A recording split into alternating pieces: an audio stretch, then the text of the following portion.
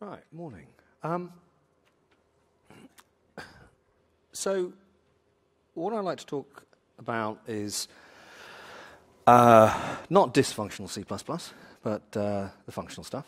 Um, because everybody seems to be talking about that now. It's a little overdue, uh, one would say, about six decades overdue. Um, but you know, it's, it's uh, better better late than never.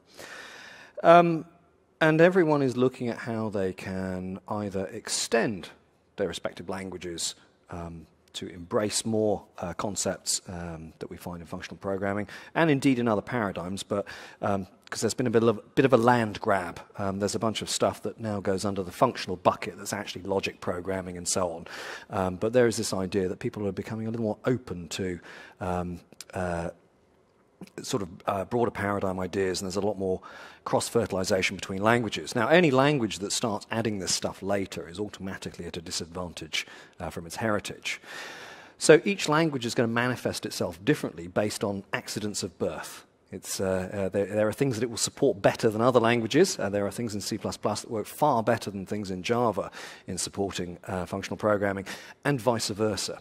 Um, and so, what I'm going to concentrate on here is I'm not going to go hardcore functional. I'm just going to start looking, first of all, at what are the points of adjacency. In other words, what are the things that are comfortable for people uh, who may already be working in C++ and are relatively nearby uh, in terms of their reach uh, into the functional space, and then take things a little bit further.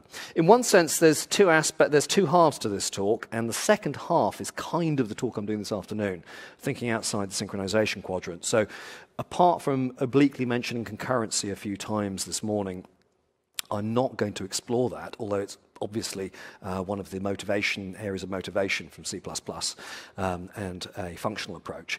I'm not going to do that because most of that stuff is going to find itself in this afternoon. So uh, just so you know, if you're wondering where this stuff is, why is he not talking about concurrency? There is a spe uh, specific reason to.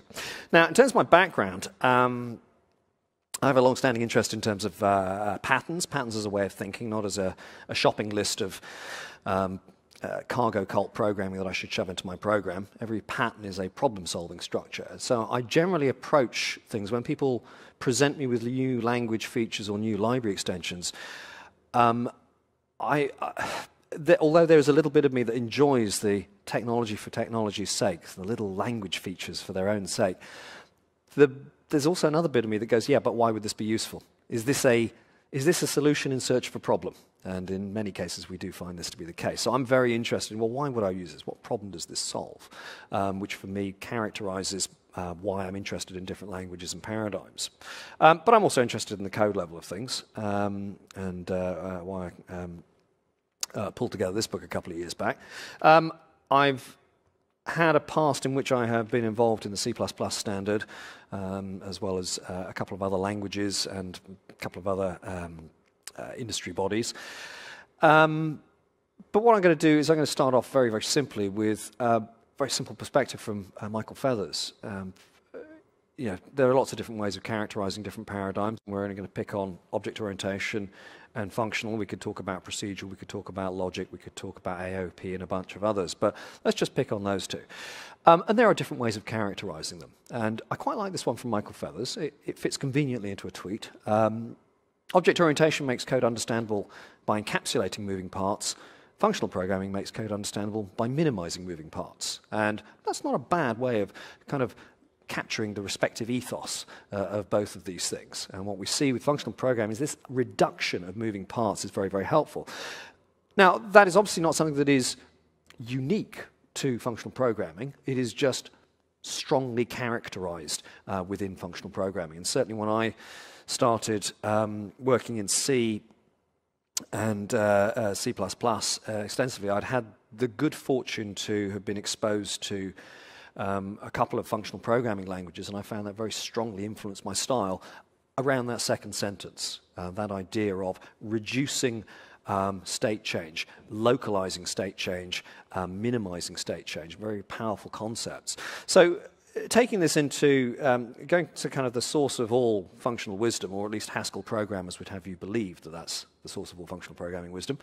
Um, this simple idea. In functional programming, uh, programs are executed by evaluating expressions, in contrast with imperative, program where, uh, imperative programs, where programs are composed of statements which change global state when executed. One thing to understand here is that there is a shift in the terminology. Um, normally, when we talk about global state, we are talking about a globally accessible via scope state, as in um, this is a global variable or um, uh, some, sometimes people say, well, we don't have global variables in our programming, uh, in our programming language because we're using C sharp or something like that as well.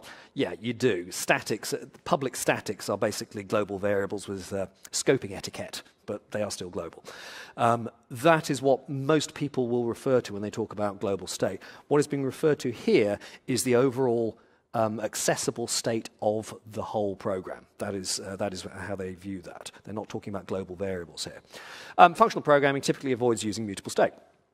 Okay, so um, observations. Many programming languages support programming in both functional and imperative style, but the syntax and facilities of a language are typically optimized for only one of these styles. And social factors like coding conventions and libraries often force the programmer towards one of the styles. Now, I think this, for me, is one of the most important insights because people often will come into a language or a paradigm, they will look at the language and what it offers, divorced from its ecosystem, but also its culture, its social conventions. Um, I found this fascinating for quite a long time because um, in my in a long, long distant past, I, I programmed Fortran. And I remember when when people started talking about Fortran having modules and things added, and I was a little skeptical that some of the data abstraction facilities that have been added would be embraced widely. And that skepticism is actually reasonably well borne out, because it's just not in the culture. That's not where the, as it were, the, the center of that language is.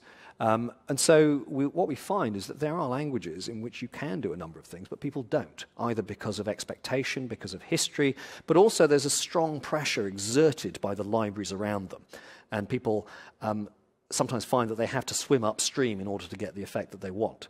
So what we see is um, the influence of all these other external factors, not just the language itself. I'm going to try and isolate the language a bit here, but I want you to recognize that this is what uh, kind of holds sway. So for example, a number of languages have had uh, lambdas or lambda-like facilities for a very long time. Um, but it was only, I mean, I'm going to pick on JavaScript for a moment. JavaScript kind of basically gave lambdas to the masses. Um, but it was really particular frameworks and particular styles in event-driven programming that really drove that into people's um, uh, common everyday uh, programming. If you look at the early DHTML stuff, very little use of um, this idea of anonymous functions being passed around. And then you look at modern JavaScript, the world has changed quite radically, and also in, in terms of supporting it. So what we see is that some of these frameworks and styles and architectures will influence that. And we may see the same thing happening with C++ as the years unfold. Now, I guess the first question I ought to ask, because um, I know part of the answer to this, is uh, who here is actually actively using C++, so I can find out. Okay. Has used C++ in the past? Right, okay. Um, uh, using C++ 11 onwards? Okay, so about half. Okay, so I'm going to try, that's, that's quite a large uh, gap to bridge, because um, I know uh, Sean there is on the committee. Um, so that's quite a, that's a bit of a span. So I will not try to keep all of the people happy all of the time. So if you sit there in curly bracket misery, that's just tough. You know too much. Okay. Um, so uh, let's pick some practical examples because people people often say, well, you know, is anybody actually using this stuff? Is anybody actually using this to influence their architecture? Uh, plain and simple, yes. Um, an example from um, Facebook. Uh, in talking about how they built the um, uh, Moments subsystem. Uh, to keep our C++ API boundary simple, we adopted one-way data flow. The, uh, so first thing to observe, um, they are driving this from the idea of um, simplicity. So there's a goal here. They're not, they don't open with efficiency, or rather, they open with developer efficiency, not runtime efficiency. Their opening hand is let's try and keep the API simple. Okay, let's try and make this easy to work with. Okay. Um, uh, adopting one-way data flow. Basically, one-way data flow allows you to eliminate um, the challenge of interaction. Ch interaction is a non-trivial thing that we deal with in code. I do something over there, it does something back to me, and suddenly everybody has to know everybody else's state or know something about them. So there is an idea here of reducing the knowledge and coupling within the code. One-way data flow is simply a way of saying I hand something off, and actually, quite frankly, I have no idea where it's going to, nor do I care. Um, so if you can structure code in that way, and we see this in the adoption of reactive programming uh, and so on. Again, not coincidentally from uh, uh, Facebook, but that idea of being able to, I just pass it on and I really don't worry about it. I can have a very simple view of the world. I receive stuff, I pass things on. I receive stuff, I pass things on. Um, does simplify things radically. Uh, the API consists of methods to perform fire and forget mutations. So state change may happen, but if you don't know about it, your little bubble universe is um, effectively immutable. So there's kind of like sleight of hand trick that a number of um, functional programming uh, and functional architectures uh, actually achieve by saying, well, this piece of code doesn't actually know that there's a, piece, there's a side effect caused over here, and it doesn't affect it. It is not affected in that sense, as opposed to something like a classic observer um, uh, relationship where perhaps I send a notification, something comes back to me and says, well, what, did, what changed? Well, there is clearly a coupling between the two of us. If I send a notification saying, here is everything you need to know, I have no idea what this other party is going to do with it, this view, for example. So therefore, I have a very simple view of the universe. It's a, a constrained one. My bubble is immutable. Change happens elsewhere if it happens at all. Uh, and methods to compute view models required by specific views, in other words, a view being um, uh, uh, effectively immutable. To keep the code understandable, again, the developmental view, we write functional style code, converting, converting raw data objects into immutable view models by default. Okay, now we actually start caring about performance. As we identified performance bottlenecks through profiling, we added caches to avoid recomputing unchanged intermediate results. In other words, the idea is that it's a smoke and mirrors thing. We're going to support the idea of a simple programming model, and if that means we have to do more work under the hood, then we do more work under the hood rather than expose it on the outside. This is very different if you've uh, dealt with legacy C++ code.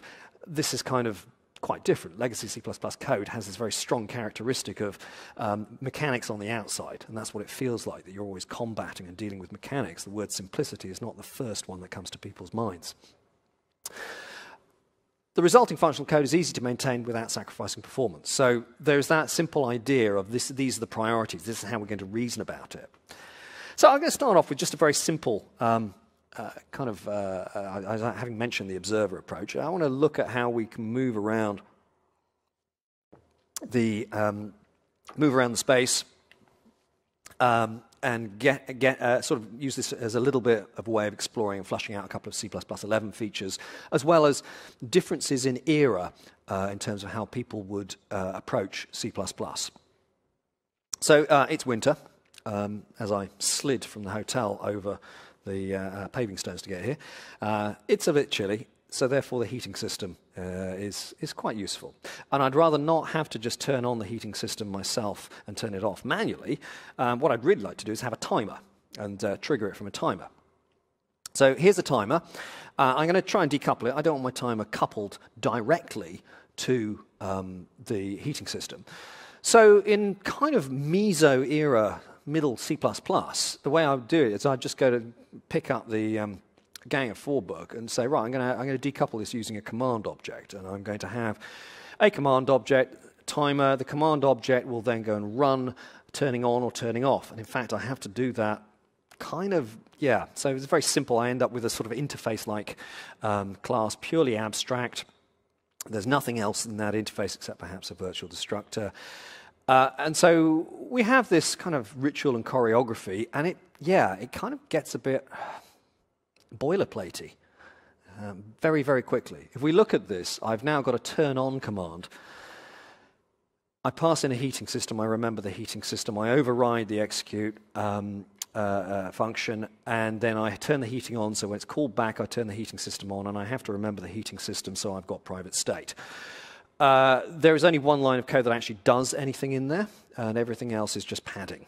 And that's just turn on. So, in the name of enterprise coding, Um, we go and copy and paste that and just change a couple of things, and then somebody says, well, maybe we could use inheritance and factor out the commonality. It's just down that pathway lies keystrokes and boredom.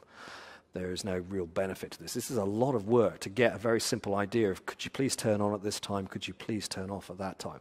The idea that, my, that the English is actually far, far shorter and easier to understand is definitely not working in this style's favour. Okay, so some people then realizing that C++, um, you know, uh, they recognize, and this is the problem with a lot of C++ out there, is it's not really C++, regardless of whether it's C++ 11 onwards. It's C++. It's kind of like, well, yeah, it's C with a few bits of C++ thrown in and a little more, um, uh, bits of library and a little more type safety.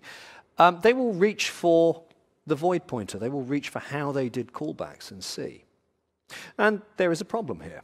Um, although I've tried to name this and uh, uh, use syntax that makes it as clear as possible, what I'm going to do is I'm now going to pass in a function and then I'm going to pass in the data that the function must operate. The only way to make this general purpose and decouplable in a statically typed language in this sense um, is to use the void pointer. Now, the void pointer is quite simply a way of telling the compiler, hey, thanks for your help, but trust me, I'll take it from here. You know, it, it's, it's, there's a, there's a, a sense that if, you're, if you've got void pointers floating around high-level code, it is not high-level code. Uh, the, the void pointer is there for a very good reason. This is not really it. There is also something else missing here. There's a coupling. It's an important idea. There's a coupling between the function and the argument that you pass in. The coupling is that they must be the right type. When you bind things together, when you have two things that are coupled together, we tend to call that a thing or an object. So, in other words, what we've done is we've defragmented an object. Two things that naturally go together should be together. We're going in the opposite direction here. But for this, there is a benefit there is a brevity. Um, you know, rather than having a huge amount of boilerplate, I've only got a tiny amount of boilerplate. It's as ugly as sin, and if you're not currently, if you've not currently incorporated keyword casts into your coding style, um, they've only been around since the mid 90s, and I know the C++ world gets a little geological in its pace sometimes. But um, I remember having a discussion with somebody they objected to the use of things like static cast um, as opposed to old C-style casts. They said, well, it just makes my code look ugly. And I said, well, casts are an ugly thing. Uh, they should not look beautiful. They should be, if you, there are ugly things, they should be easy to identify, and they should also be very greppable. Um, so, yeah, uh, we've got this. However, we are playing a little fast and loose with the type system. So, yeah, this is, this is a sort of a, a C plus approach. Now, from kind of boost, the boost libraries, um, and Doug Gregor's work originally on this through the uh, TR1, Technical Report 1, that informed um, quite a lot of the library uh, additions in C++ 11. Um, polymorphic function wrappers were added. The idea of a universal function pointer, effectively. Very simple idea. I can now point to a function, I can point to um, a member function. I can point to an object that masquerades as a function. It really doesn't matter. As long as I can call it like a function, then that's good. And I can pass it in there. So this idea of the universal function pointer being provided in the library rather than language, um, there's a sort of a tighter relationship we're going to see in a moment with uh, uh, library and language. Um, it, this is definitely, when it comes to standard function, it is massively convenient. Um, but I would say uh, it's a little bit like sausages if you look at the implementation. Um, it's one of those things of, you know, many people enjoy eating sausages, but if they saw how they were made, they'd, be, uh, they'd definitely be uh, uh less keen on it. Um, so don't look at the inside of standard function, just use it as a universal function pointer. Um, so what does that give us? Well, the simplest thing is that now we can actually, I'm now actually declaring two objects on and off, um, two timers, but what I've got here is I no longer actually have to introduce an intermediate abstraction. In the first command style solution, I introduced classes with a lot of boilerplate code. In the C style solution, I introduced functions, which still had a little bit of boilerplate and also played fast and loose with the type system. Here, I don't need anything intermediate whatsoever. The bind function does it all for me. Okay, basically, it's a partial application. Um, it takes the heating system turn on function and it binds it to the heating object. Takes the heating system turn off function, binds it to the uh, uh, heating object, and for later execution. And that's what happens. So there's a really good decoupling here. We are now just working with functions effectively. Um, we can go a step further and use um, C++11's lambda syntax, um, where I simply just pass in. Now, this is where the language and the library kind of get, well, rather the uh, uh, language and conventions get a little bit closer together. Um, the uh, the function function objects are surprisingly uh, efficient. Um, there's no real indirection going on with them. They generate, um, the lambdas actually generate simple function objects um, from the compiler's point of view uh, that are available for optimization. So they are genuinely objects, it's just that you cannot name or talk about their types meaningfully. Uh, and they're very lightweight. There's no, uh, there's no indirection, uh, no, no, real indirection going on here. And this one works really rather nicely and is actually slightly um, tidier in some ways than the, uh, the bind solution, which was the kind of uh, the default way of looking at it. Now, when we look at lambdas, a lot of people will go like, hey, look, lambdas, that's, that's very functional. And of course, they are the foundation of functional programming, but it is also worth pointing out that this solution is both a good object oriented solution and a good functional, uh, functionally influenced solution. Um, the idea that being able to pass a function around is a purely functional idea is definitely not the case. It's been uh, the idea of being able to pass a, a, block of code around as an object has been present in, in um, object-oriented programming since 1967 with the first uh, programming language um, that could claim to be object-oriented, Simula, uh, Simula 67. Uh, it was possible to pass blocks of code around, but somewhere in there that kind of got lost. Um, we're only just rediscovering it here. And if you take it to its logical extreme, this wonderful uh, observation uh, from William Cook uh, in a paper from about five, five, six years back on understanding data abstraction revisited, makes the observation that lambda calculus was the first object-oriented language. If you really explore this uh, in terms of what uh, uh, lambdas with closure, um, you end up with a perfect object model. Um, although he's wrong about the year, it was actually older. Um, so basically, um, C++ 11 onwards allows you to program like it's the 1930s, like, yes, Back to the Future. Um, but there is some joy in C++'s choice of syntax. Every language goes its own way. This is actually legal C++. Um, this is um, a lambda that takes no arguments and does nothing. And this is its execution.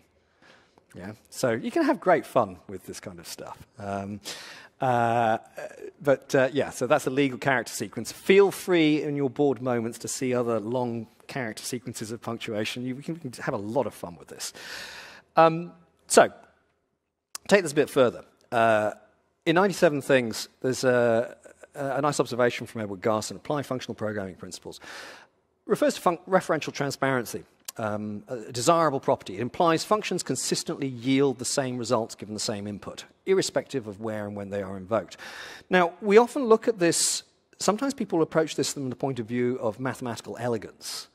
Um, but there's another aspect here, and this gives, us, this gives us the idea of reducing mutable state, because for something to be consistent in this way, you can't go around changing stuff. So function evaluation depends less, ideally not at all, on the side effects of mutable state. Now, I'm not going to advocate immutability for its own sake. I'm not even going to advocate it based on mathematical purity uh, or even fashion. It is quite simply um, to do with this. It goes back to a, a, point I made earlier in terms of cognitive load, um, understanding, the ability to understand something. If everything keeps changing, you have to keep track of that as a programmer. And the more plates you keep spinning in your head, the more that are likely to fall. So, this idea, very, very simply, is we can have this simple concept of flow, and that thing is exactly where I left it. When something does not change, when I leave something, it does not change for reasons that are unknown to me or surprising. I'm not even talking threads here. You can get all of this in a single threaded uh, program. The principle of astonishment, um, uh, uh, uh, principle of least astonishment, is often violated um, through such mutable state. So there's this simple idea that the last time I did this, I got this result. The next time I do, I should get the same result.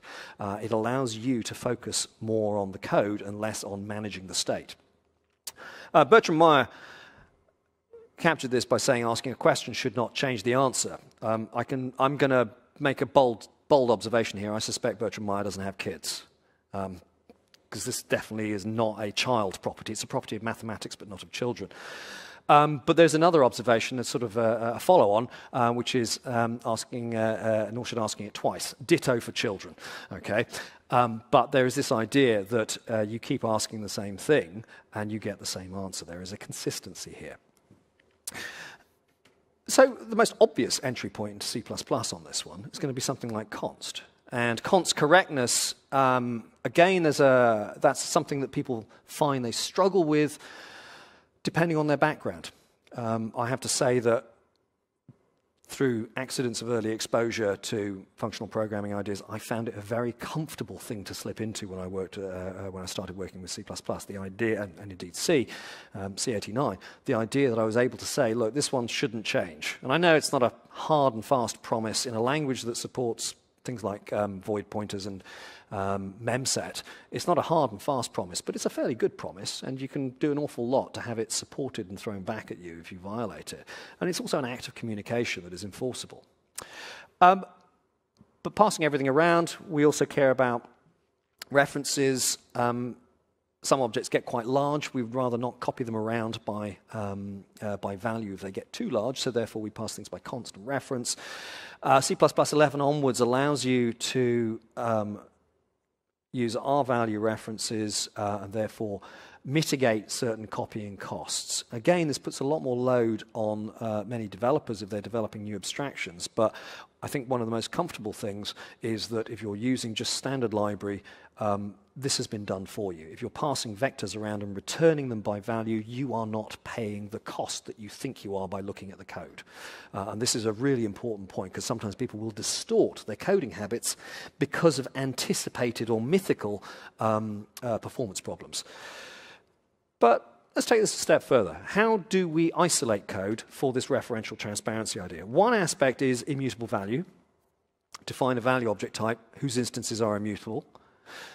But C++ is a copy-based language. So although we care about this immutability at one level, there's another way of achieving isolation. And the other way of achieving isolation is by using copied values. Again, this is one of those things I want to pick up from a comment I made earlier about uh, the differences in languages and where they start from. If I'm working in something like Java, it's more natural to use this because Java is a reference-based language. Everything is pointed to. I'm passing everything around by sharing it. That's how I communicate. That's its default mode. This is actually quite uncomfortable in Java and requires um, uh, programmers to remember to clone objects, and it's not particularly efficient. You keep hitting the heap all the time. So this is the natural way of expressing that. C++ has a default mode um, of saying I copy. If you, if you name a type, then it gets copied. And that gives us a certain isolation. In other words, the idea that if I have, um, if I am an object that has state, you ask me a question, I can return you a copy of that, and you can do what you like with the copy, but it will not affect me. Similarly, if it were immutable, I would have an isolation there as well. So there's this idea, these are two techniques for isolating things. Make a copy of something um, or make it unchangeable. It's something I'm going to pick up um, th this afternoon. So from a C++ point of view, I'm going to pick on um, my old favorite, the, uh, uh, the, the, date class. Um, dates are always hard. I, I, do this for a number of reasons. One, everybody's familiar with the domain. Two, very few people are actually really deeply familiar with the domain. Um, no, I'm not going to do a full date class. That's, that's great fun, but well beyond the scope of uh, uh, this talk. So there's only one true ordering for the constructor. Uh, I'm going to pass in three integers. I could use types to distinguish those, but that's, um, uh, that's not relevant to this example. But there's only one true ordering. That's ISO 8601, year, month, day. If you're using anything else, you're wrong. Okay? It's as simple as that. Um, there's three orderings, big endian, little endian, and middle endian. Uh, middle endian is what is used in uh, North America, and it's a reminder of why we have an Atlantic Ocean. Okay? It's, an, it's, a, it's an isolation wall. Um, but here, uh, year, month, day, um, I'm going to let the compiler default the copying uh, operations and others. Um, I'm going to get the year, get the month, get the day in the month, set the year, set the month, set the day in the month. This is, um, this is a kind of a habit that people have. Um, for every getter, they have a setter. And they don't even know they're doing it. In fact, sometimes we, we optimize doing the wrong thing by allowing IDEs and editors. It's like, yeah, generate me a pair of those. People don't even know they're doing it. When I run, when I run classes, I'm often fascinated by, you know, I sort of ask somebody, well, you've got a setter for that. Uh, why is it there? Oh, I didn't realize I had that there. They don't even know. They just go into a kind of like a, a fog of just like auto typing. I've got, a, I've, got a, I've got some data member, I must have a getter and a setter. I've even seen a coding convention that says for every data member, you must have a getter and a setter. Yeah, it's a, it's a, you know, an encoded way of doing doing the wrong thing uh, badly. So, yeah, just because you have a getter doesn't mean you should have a matching setter. So I'm going to sort of, we, let's, let's tidy this one up slightly, and we'll have a setter, let's treat this transactionally. Typically, you don't just tweak dates, you normally have something that you want to do. You don't want to go through intermediate states that are awkward either. Um, the idea is, for example, if I have the 30th of January, and I decide that I want to move this to February, clearly there's a sequence dependency there. If I try and set the month to February, uh, whilst I've left the day and the month at 30, then that's invalid. But if I swap the two operations around, then suddenly it becomes valid. And uh, it's a case, well, hang on, this is a bit awkward. We don't want to get, we don't want to get that uh, situation. I want to treat the data as a whole. So we end up with a set. That's, a lot of people will walk into that. And you get today's date set like this. what many people don't realize is they've already got this operation. We don't need this. We can actually restrict the mutability. In other words, what I'd like is the date class to be I'm going to leave one mutable operation, and it's actually the one generated by the compiler. Um, we've already got it. it's called the assignment operator. If I treat the assignment as a rebinding, then everything else is about the object. It's about asking it questions. You get to create it, you get to ask it questions. And the only other thing you can do is assign, and that's, that's already taken care of. If you're worried about validation, the validation happens in the constructor. We don't need to repeat the validation code. Validation code takes up a lot of space when people have all these individual setters. And yet I can achieve exactly what I did before, but it's now simpler. But I can also take this a step further. I mean, we can, um, if we start playing around with C++11 syntax, we can start uh, getting it really quite light. Um, the only other thing I would suggest here on a point of uh, so so this is kind of basically my recommendation. If you're going to start creating value types, where possible, don't have state modifiers. Treat them as they were, as if the only operation that you can change is to rebind. In other words, treat assignment as rebinding. Um, but also, I'm going to say, get rid of the noise. Um, get something is an imperative with an expected side effect. Uh, this programming, this, this little naming thing that we've been doing, um, I, I found an article that I wrote in 1995 where I was complaining about the prevalence of people using get as a prefix. It has only got worse since the 90s. Um, and people use get as if it's some kind of natural query. But if you think about it, in English, that's not its role get is not a query. It does not mean go, go and do something without side effect. It does not mean ask a question. Okay? Um, we've ended up with this rather dysfunctional noise uh, uh, prepended to all of our functions. Yeah, if I get money from a cash machine, there's a huge, great side effect on my bank account, disappointingly. If you get married, there is a state change in your life. Okay? It is not without side effect. So it's, it's not particularly helpful either. And so, therefore, if you want to try and embrace a more functional approach, then I'm going to make a very simple suggestion. Stop using imperative names. Get is an imperative name. If you want the code to feel functional, you've got to get your head in the right space. Language is strongly influential. And what's interesting is the minute I drop the get, this simultaneously becomes better functional code and better object oriented code. Yeah? We get rid of the object oriented assembler that plagues so many code bases. Okay, so that's great if I want to change the whole date. But normally people don't want to just change the whole date, and they will object to this. They say, well, look, that, I, I see what you're doing there, but actually, I do want to just change the month. I want to deal with the first of every month. I want to cycle through the month. So I really just want to change one field effectively. Well, okay, uh, let's do that.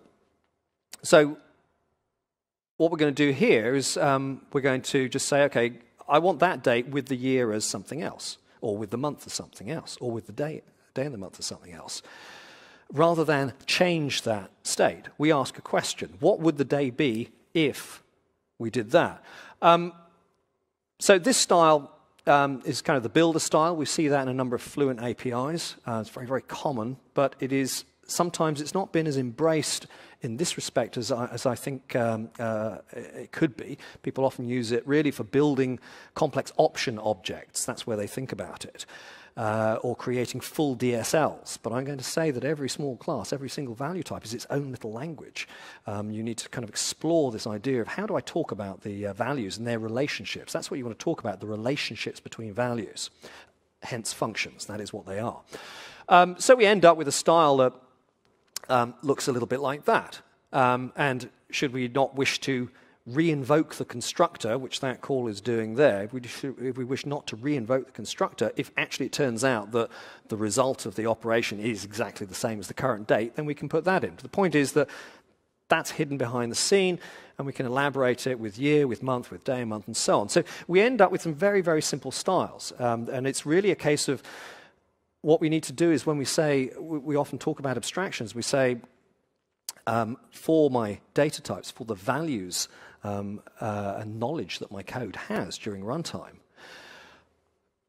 what are the things I can do with this object? And perhaps do is a bit misleading. That's a very strong imperative, and we tend to default to thinking about um, uh, the idea of uh, do having a side effect.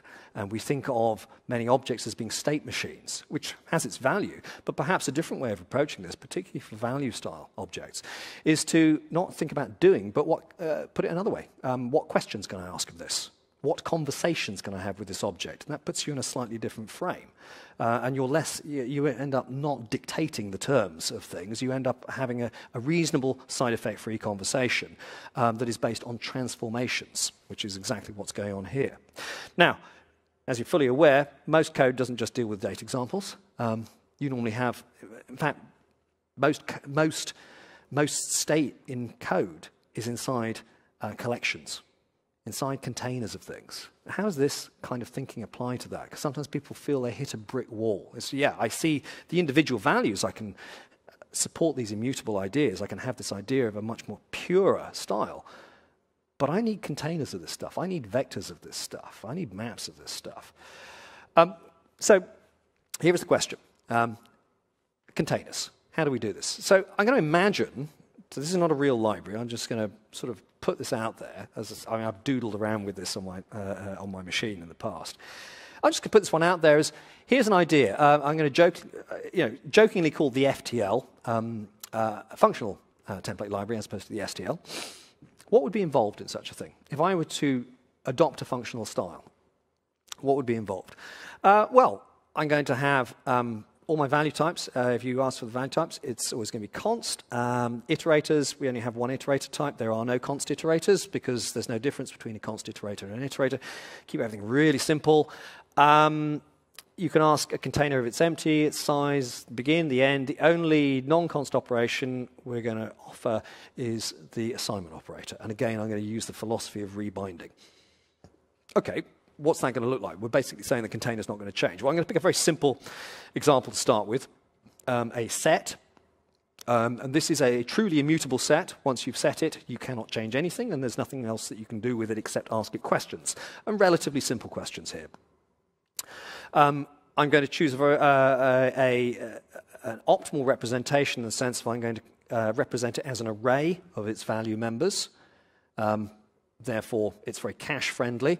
Uh, it's going to be in sorted order, um, therefore compatible with the idea that you find the set in the STL. Um, and you can find things, you can count things, you can, you know, uh, uh, uh you can do the basic search operations. Um, and we can initialize it. I'm going to use the C++11 uh, initializer list uh, form there.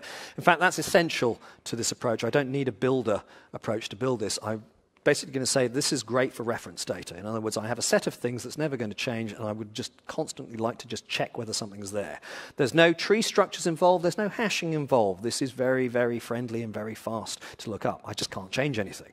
Nonetheless, there are cases, even in regular code, where um, without transforming, when I say regular code, I mean regular C++, where this uh, turns out to be useful. Let's look at another example. Let's have an array. An array actually looks very much the same, uh, but I can index into it. Um, and again, this is completely immutable. Um, once you've set the array, you cannot change its content, its size, or anything like that. And this is logically similar to the C++ array, uh, 11 um, array uh, template, which is actually mostly useless, I've found. Um, uh, part of its reason uh, for existence was to allow simple uh, initialization, but we find that it's less useful than uh, we hoped. Okay, this is all good, but you can see that this only applies to a very, very restricted range of things that I want to do. I really have to know the values that I want uh, when I create an array or a set, and I cannot change them. I cannot change anything about it. There's no transformation here that is going to be cheap. So, how do we get around this? Well, I, I don't propose to give you a, um, a, full introduction to persistent data structures. I'll give you a, a light introduction to persistent data structures. Uh, persistent data structure is a data structure that always preserves the previous version of itself when it is modified. Such data structures are effectively immutable, as their operations do not visibly update the structure in place, but instead always yield a new updated structure. There is a sleight of hand here. In other words, there's a very a, a neat trick that we're basically saying if you hold a container and somebody else comes along and maybe pushes something into it or pops something from it, they will get a version of that that is the popped or the pushed version, but you will retain your version. You will retain your view. They will actually get a effectively new object. But the way that it's done is that nobody can ever prove, without a debugger, that actually new stuff and side effects happened. Okay, it's a, it's a beautiful illusion. Um, not to be confused with the other use of the word persistence. Although, that said, there is an interesting idea that I observed um, uh, recently that persistent data structures, we often talk about them in terms of concurrency, but even without concurrency, they make sense because they are all about decoupling, um, uh, temporal decoupling, decoupling state across time. Whether that time is affected by concurrency or whether that time is later points of execution, they are bound um, in the same, uh, uh same sort of ethical set. Okay, so what I'm going to do now is I'm going to look at a, simple vector. Um, this vector is based on contiguous memory, as the name vector implies. Um, we're, uh, contiguous memory. And um, usual operations, empty size. It's array-based, as we can see down there. I can subscript, I can ask the front and the back, and I can get the raw representation. Um, but there are two apparent modifier operations, or modifier-related operations, pop front and pop back. Um, these are constant time operations, and I'm going to maintain the ethos of the STL. These are constant time operations, uh, and so it turns out that unlike the STL, um, the, there is a pop front here that can be done in constant time. So similar philosophy, but we're going to see the operation set slightly different. But for just one moment, I'm going to concentrate on this. Um, I'm going to change the names um, because those names have a radically different effect. If somebody comes from the STL and looks for pop front, they're going to be surprised that this does not do what pop front um, expects. They expect it to do. Pop front should change the state of the current object they are working from. That is an expectation that has been set um, since the early 1990s. Um, but it also, there's another point here that I mentioned earlier. If you want to, you know, pop back is an imperative. What I'm asking really is something different. This vector, I would like to see the popped front version. It's more of an adjective driven phrase than a verb driven phrase. So I'm going to use a different but clearly related name, but also one that is not an imperative uh, to distinguish these. So you get back, now, you get back a new vector. Is that, is that going to be expensive? Well, not, not really, um, um, because what we've got here is in the representation, we've got um, basically pointers, iterators, showing you where the beginning and the ending are. And so, therefore, you can pop front and pop back to your heart's content and share the representation. All that's happening in each pop, each pop front and pop back operation is a return of those three a return of the anchor and the from and the until. And that's all good. So, what's this looking like in memory? It's going to look like this. I'm going to end up with, say, a variable a. We initialize our vector with four values.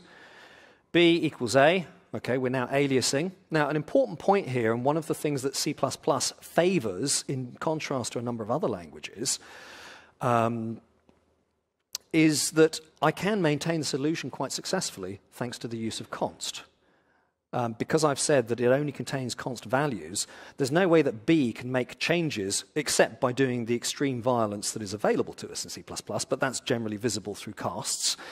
Um, but there's this idea that actually by default there is nothing that somebody can do to change the view that A has of this. This is very different to something like Java, JavaScript, and most C sharp stuff, um, where by default you have no ability to say, by the way, the contents of this cannot change. The best you can do is offer a comment. Please don't put objects in here that could be changed via other means. The point here is that we've actually got a type level guarantee um, uh, about how we work. It does, it does work with the way that we work. Now, more interestingly is what happens when we pop it. C equals a pop front. We get back the version that looks like this. As far as the user of C is concerned, they've now got a new vector that is only size 3. The user of A does not see any change. B sees the same thing as well. That's great for popping, but sometimes we want to push. Now, the only way to get that sorted is to use a linked representation. So we can, uh, uh, we can link this out and we can end up with A, we can do the B thing again, we can do the popped front, but now this is the great illusion. Um, if we push, then what we end up with is um, a new prepended head. And if somebody else pushes on the front of it, you end up with a rather beautiful tree in memory. Um, the idea is that everybody's sharing representation and there's no side effect without doing violence with the type system, there's no side effect that they can induce uh, that will undermine this illusion. So the representation sharing, that guarantee uh, that gives us some kind of guarantee of immutability is absolutely profound uh, in this. It's also not a new idea. Um, uh, this idea is uh, really rather old. Uh, I quite like old books. This is my copy of the Lisp 1.5 Programmer's Manual. It was originally published in the early 1960s. Um, it turns out we knew this in the past. Uh, I did have a brief obsession, well, two brief obsessions with Lisp at different points in my programming career. Never, never, never programmed commercially, but uh, I did uh, point out I have a deep fondness for the Lisp model. It is simple, elegant, and something with which all developers should have an infatuation at least once in their programming life, because it will change the way that you think. Just have a, you can have the infatuation in private. You don't have to make it public. Um, you, can, you can do that, and you know, if you if you think Lisp's a bit old hat, go for Clojure. Uh, uh, nobody's watching. Um, so there is this. However, um, and actually, uh, this is part of an article series that I wrote uh, when I was uh, writing for the um, uh, uh, C, C++ Users Journal. it's also a timely reminder. I was always told never write articles that have part numbers in them. Um, I used to, and I, I, had two columns for different magazines where I submitted such and such part one. And the editor came back and said, I'm going to change that title. I said, Why? He said, Well, I don't know that you're not going to get run over by a bus, uh, or that we're not going to fold as a magazine, or that you never submit the second part, or something happens. You know, just it should look reasonably self contained.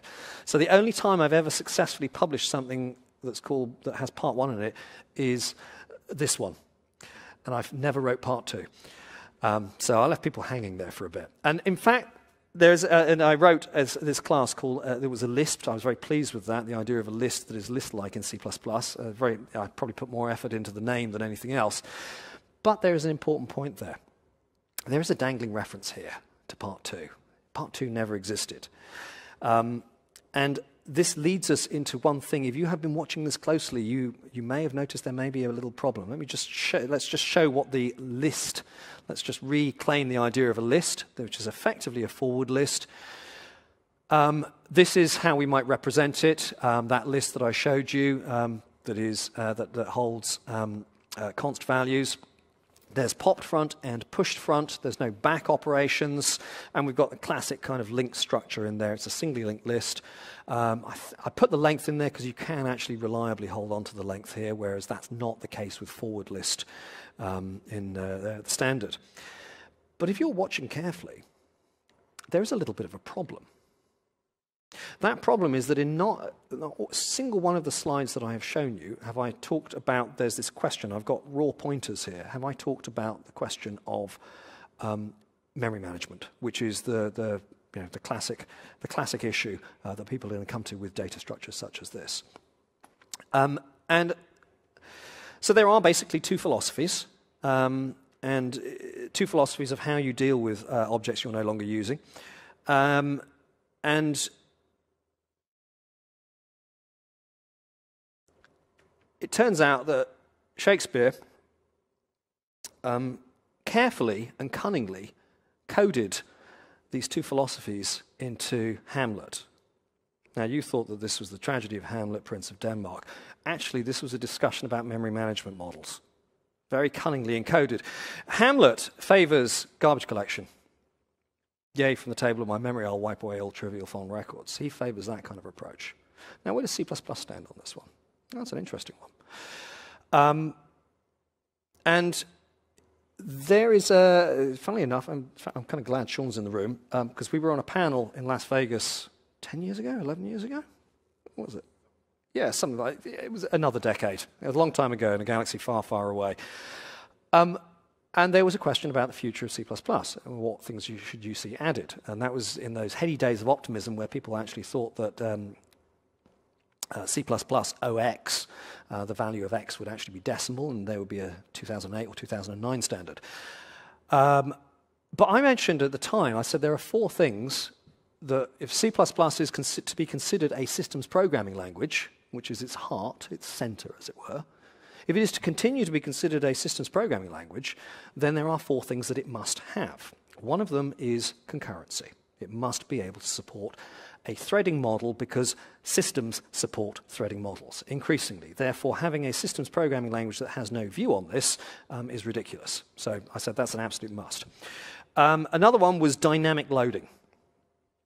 Um, because, again, um, operating system architectures have been doing this for decades, to have a systems programming language that does not have a consistent philosophy of uh, dynamic linking, again, does not make sense. The third one was um, a decent system of reflection. There are large classes of architecture that are enabled and simplified um, through the presence of reflection. And these have become increasingly common. Um, plug-in architectures. It's one of the things that is, you can always tell there's a difference in terms of how maybe a C++ programmer versus um, a Java or a C Sharp programmer will approach something in terms of framework design. And one of them is the availability of reflection just opens up large classes uh, uh, of simple approaches to architecture and that was missing from C++. And the fourth one was garbage collection. Increasingly systems have a garbage collector. Um, we saw this at the time with .NET, um, having a C++ binding and uh, the workarounds that were enabled for that. So those are my, those are my, that was what I basically said. This, the language really needs to have these to be, uh, to, to, to, make it into the future. Well, we got the threading. Uh, the dynamic linking is kind of happening. A little bit later than expected. The uh, reflection is nowhere to be seen. What about the garbage collection? Well, yeah. So Bjarne sums it up on the C++ 11 FAQ on his, uh, uh, on his homepage. Garbage collection is optional in C++. That is, a garbage collector is not a compulsory part of an implementation. C++ 11 allows you to have this. Actually, it doesn't. It does not allow you to have it. it allows the vendor of the C++ compiler to have it. That's not the same as you. There's this very subtle difference. It basically means you cannot write a program that is portable and relies on garbage collection. You have no control. I don't mind the idea that it's optional, but it's no longer under programmer control. I cannot, therefore, reliably, all that code that I wrote before, where I wasn't managing the memory and all the other slides, if this assertion is satisfied, in other words, we have garbage, strong garbage collection, if we have that available, all of my code works. If it if it, we don't have this available, I've got memory leaks everywhere. And I can't ask for its availability. It is not a feature I control. It is a thing I can answer. So we have a little bit of a problem there. It's, it's almost worse than not having it at all. It's a bit of a halfway house. So we're back to Ophelia, it turns out, whose philosophy is more classically C++. Tis in my memory locked, and you yourself shall keep the key of it. You're going to have to manage it yourself. Now, for a lot of people, managing it was always a bit of choreography, and C++ 11 came along and said, you know what, you don't have to worry about this. I'm going to give you um, a smart pointer for reference counting, the shared pointer. Great, that kind of works. A couple of little caveats is that you have to provide your own deleter if you want it to delete an array, but you know, that's, that, that's, that's not entirely unreasonable. But we also have to re respect there's something else. Um, shared, having a reference counted pointer is um, there are a surprising number of inefficiencies. It can be efficient in some cases, but there are some surprises. Um, Rob Murray observed this a long time ago um, in C++ Strategies and Tactics. He said his observation from an implementation point of view is certainly, uh, certainly sound. Um, a use-counted class is more complicated than a non-use-counted equivalent. All of this horsing around with use counts takes a significant amount of processing time. It is not cheap. Okay, there is a simple point here that garbage collection run asynchronously, modern garbage collectors running in uh, different threads, they will be intrinsically potentially more efficient. And there are different classes of efficiency you may care about. Um, but if you are always hitting um, uh, something and expecting to increment and decrement a count, that's going to pay, uh, you're going to pay a cost for that, particularly in a threaded program. Okay, there's, uh, it turns out that um, if you can guarantee your code is single-threaded, this is just going to be a simple plus plus or minus minus. If you can't guarantee that, you're going to end up with an interlocked increment or decrement. If it turns out that your object, the object that you are sharing, is only shared within one thread, you will still pay the interlocked increment and decrement a cost. You have no way of signaling to the compiler, by the way, I'm not actually sharing this between threads, so go with this minus, minus, plus, plus. So there is a bunch of costs here. We haven't really taken it away from the programmer. There's also an additional memory cost. Um, there's an, a separate allocation in this case, unfortunately, because we can't uh, use make shared. So there's a bunch of stuff here. It's not as efficient as people uh, would like to think of it. And then there is a, what we might consider to be the ultimate showstopper if I put it into that list class that I showed you, I mean, the, for the vector um, uh, class works absolutely fine. There's no, there's no problems with this other than the ones I've outlined, uh, which probably won't be too problematic with uh, uh this, the usage of this particular uh, type. Um, but if I go to the list, there is genuinely a problem. If I transform those raw pointers into shared pointers, we have a problem. Uh, that problem is a very subtle one and uh, can lie hidden. It's not that you can't solve it, it's just that you have to solve it. And this is the problem. Um, I'm going to have a list of stuff. It doesn't really matter what the stuff is. It'll be a list of integers, a list of string. That is not relevant. I'm now going to fill that list by doing a push front. I'm going to push. I'm going to basically uh, add all of that. Um, I'll have to do a little extra adaptation because it won't know about pushed front. Um, uh, but um, if we do, if we tweak around with that, then we would hope that we would be able to create, let's just add a thousand items. We end up with a chain, we end up with a list of a thousand links. That's absolutely fine. Each one of which has a shared pointer pointing to the next one. So there's, uh, this is all good, except for one small problem. I've put the curly brackets into this example to highlight the fact that chain goes out of scope at the closing curly. Goes out of scope at the closing curly, which means that the destructor for chain will be called. Now, this is a linked structure, so we've got a, we've got a pointer to the head. The destructor for the head will be called. It is referring to one other object, so its count goes to zero, it's going to refer to another object. Hey, guess what? You need to go as well because my destructor is executing. And we end up with this down the chain. That's great, except that it's a recursive call. It turns out this blows, blows your stack for surprisingly small values. You should be okay with 1,000, but around 2,000 it blows up, which is a trivially small list. This is a problem. It's not that you can't solve it, as I said, uh, and this is the problem with the C++ community I find at times, is that, hey, I've got a really clever technique.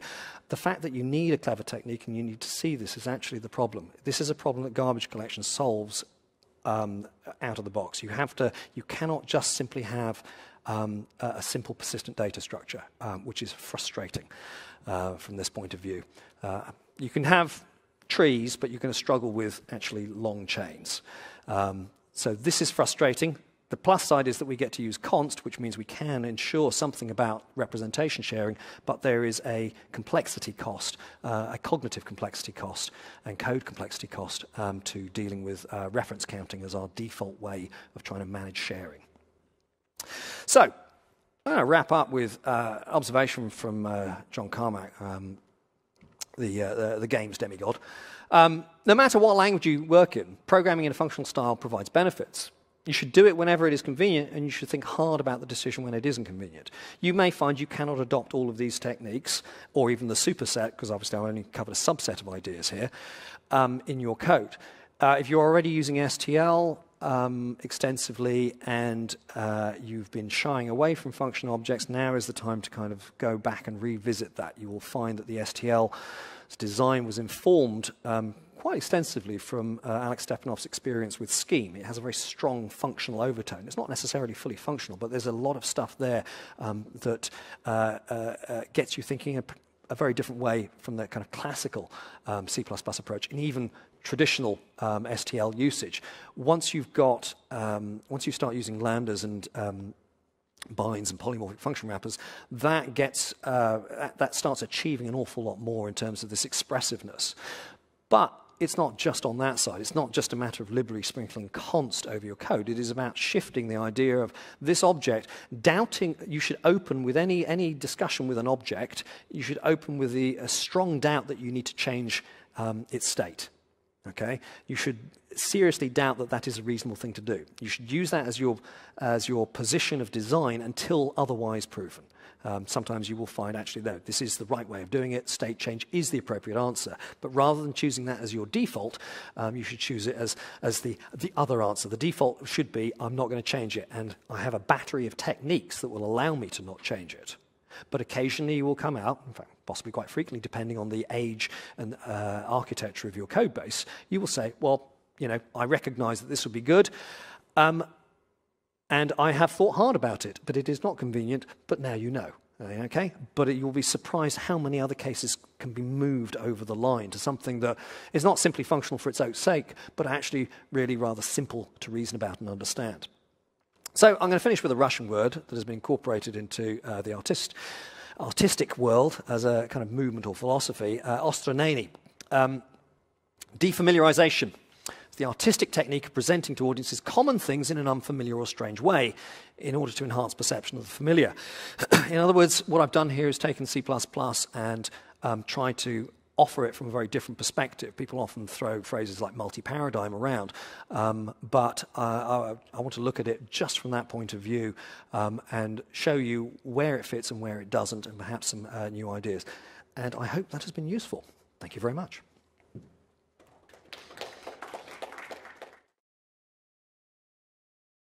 But I'm standing here, so if you want to ask me questions, come up and ask me questions, then uh, that's great. Thank you.